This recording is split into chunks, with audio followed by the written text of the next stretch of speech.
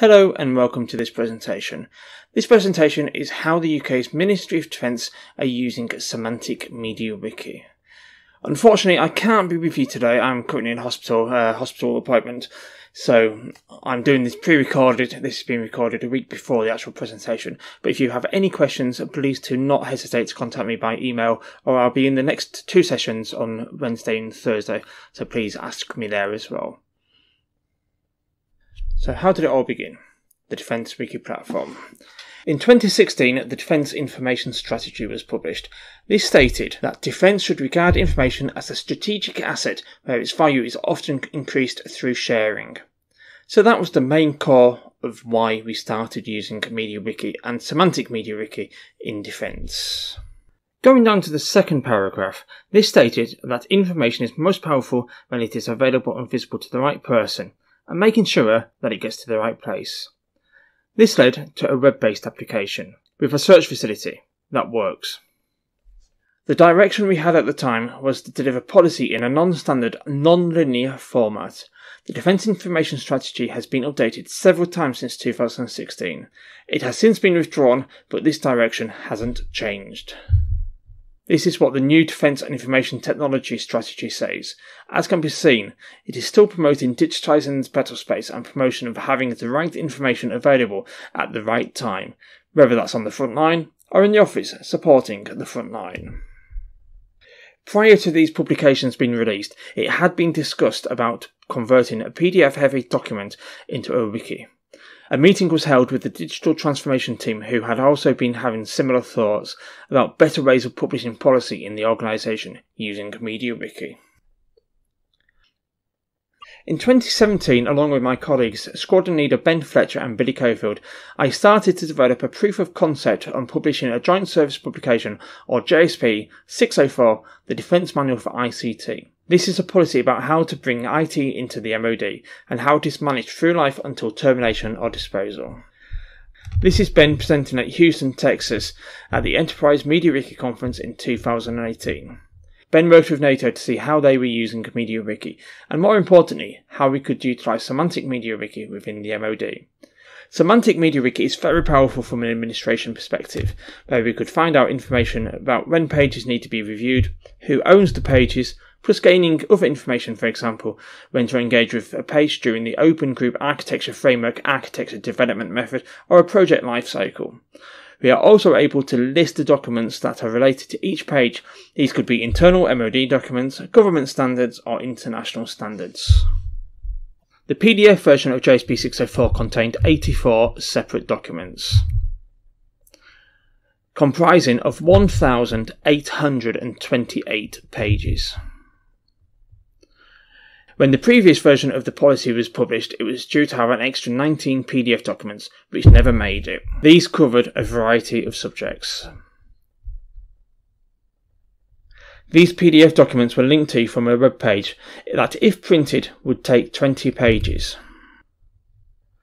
16 documents have been migrated to the wiki so far. 68 documents are in the process of being migrated from PDF to a wiki format. The 19 documents that never made it to PDF, that's still to be decided. The conversion process is still very much work in progress. I can assist in the publication, but I can't verify the contents are correct. This is currently being discussed and the appropriate subject matter experts are due to be tasked. So what's happened since? Two policies have been published, the Defence Manual for ICT and the Information Management in Defence. Two further policies are currently in development.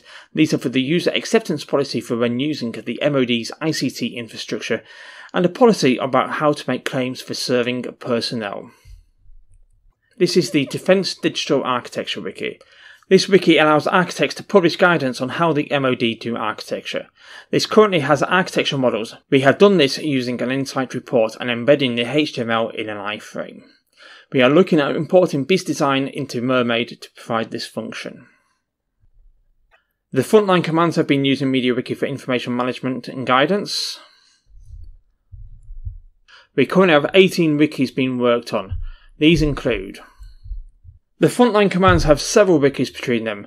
These include empowerment, doctrine, training, operational, and historical information. Wikis for certain parts of the units in the armed forces. The MOD Welsh Language Scheme. This wiki will cover information about the Welsh Language Scheme in both Welsh and English. We have a number of wikis looking at strategic analysis and security information. These are being developed across defence. The final wiki in development is for serving personnel and how to use the internal human resource system. So what are the benefits of us using MediaWiki and Semantic MediaWiki? By using page forms we can ensure that all pages look the same and have the same consistency. One of the issues that we had with JSP 604 when in PDF format was that it was very difficult for us to see when documents were last updated, hence we couldn't task people to do the work. With Semantic MediaWiki, this is automatically collated. A query has been written that lists which pages are coming up for review. This can then be passed on to staff for review.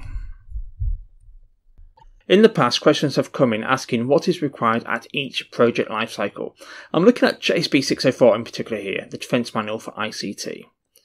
Using page forms, I've included input boxes asking when pages are relevant to the project lifecycle and which international and British standards they refer to. A query has been written that will give the projects this information in a table. When we first started using MediaWiki, there was just one wiki. That was JSP 604, the Defence Manual for ICT. We have three other wikis now that have been published, with a further 18 in development, ranging from Ministry of Defence policy to frontline command doctrine, information management, and the history of the Royal Signals. Although the vast majority of the experience that I've had with MediaWiki has been positive, there have been some negatives as well. Uh, there's been a number of issues that have been reported over the four years that we have been using MediaWiki in the MOD. One of the biggest issues that has been reported when using MediaWiki is that it's not very intuitive. It can take a long time to understand how it works. We make use of forms a lot to ensure that the content is uniform across the wiki, but unless you use it on a daily basis, it can be quite daunting. Using page forms and the WYSIWYG editor, we have tried to make it as simple as possible, but people still find it confusing. One user even made a comment that it doesn't work in the same way as Word. With some of the wikis, we utilise the extension Lockdown to enable staff to write draft pages before publishing.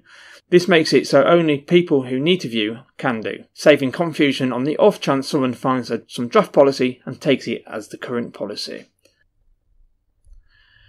The pages that are in the draft namespace are protected by the lockdown extension. So if someone sends you a link to a draft page and you are not logged in, you are prompted to log in. Just as it should be. But when you log in and you are redirected, you are sent to a bad title. Not sure this is a lockdown issue or MediaWiki. So the only way to actually get into it is to go back into the link which was sent initially once you've logged in. So the future.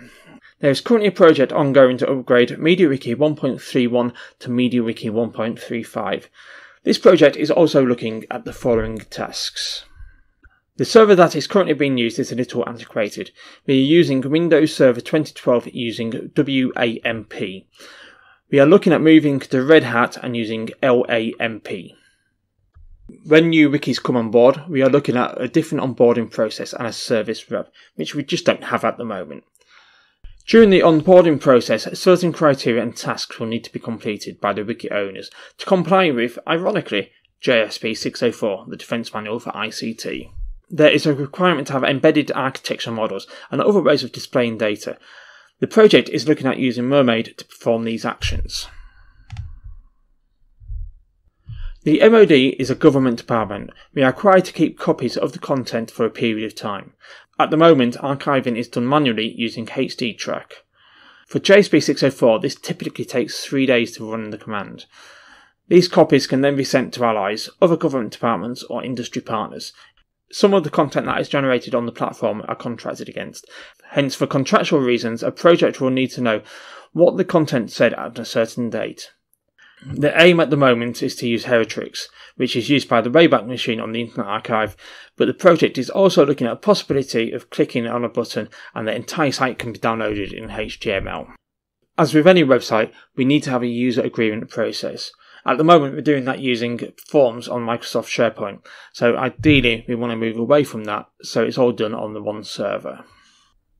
Finally, we have 24 wikis. Each one has its own login.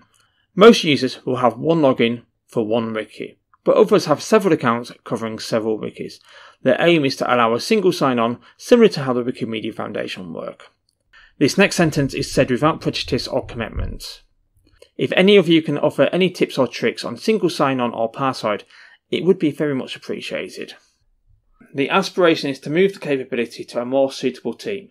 It is currently managed in the Defence Digital Digital Enabled team in the architecture function. This is more to do with finding better ways of working and being more innovative, making data and information being better accessed in the defence community. One of the pieces that we do do is with configuration management. We don't want to put the wikis at risk.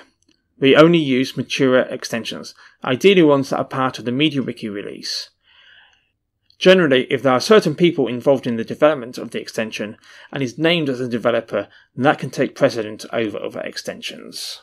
So thank you very much for your time this afternoon. If you need to contact me, please do not hesitate to contact me by email. My email address is on the screen, gary.foster443 at mod.gov.uk. Alternatively, I will be in the conference for the next two days, so you can catch me up on Hopin as well. Thank you very much for your time, and I shall speak to you soon.